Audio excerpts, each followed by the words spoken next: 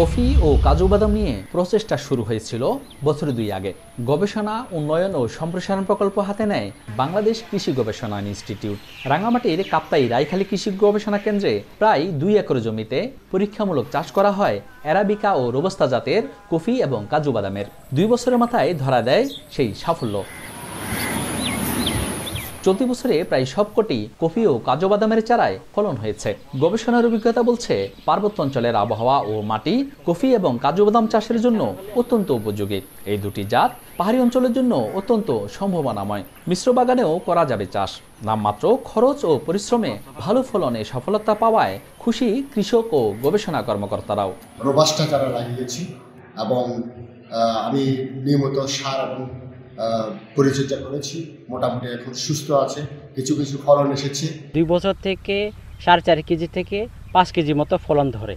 তার মধ্যে এখানে এক বছরের খরচ আপনার আসে আমার দুশো টাকা মতো খরচ হয়। কৃষি গবেষণা কেন্দ্র রায়খালী থেকে কফি আরাবিকা এবং রোবাস্টারও হচ্ছে দুইটা জাত উদ্ভাবনে একদম তার প্রান্তে আমরা রয়েছি।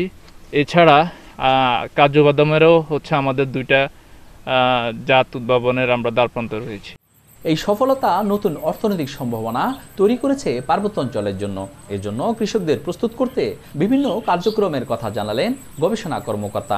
অ্যারাবিকা এবং রোবাস্টা আমরা দুইটা জাতের কফি চাষ করেছি। সে অ্যারাবিকা কফিটা খুবই সুন্দর ট্রিমেন্ডাস রেজাল্ট দিয়েছে এবং আমাদের কৃষক অভিভূত হয়েছে ফলন দেখে। প্রস্তাব করেছি নতুন জাত দেওয়ার জন্য।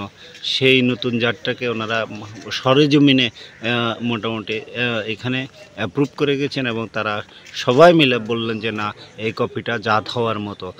পাহাড়ে পতিত জমিতে দরিদ্র প্রান্তিক চাষিদের কফি ও কাজু বাদামের বাণিজ্যিক চাষাবাদে উৎসাহ বাড়ানো গেলে কর্মসংস্থান সৃষ্টি করা সম্ভব হবে এছাড়া স্থানীয় এবং জাতীয় অর্থনীতিও সমৃদ্ধ হবে বলে মনে করছেন গবেষকরা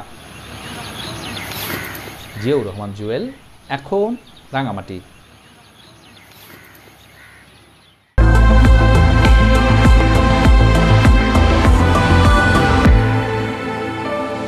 Hurling.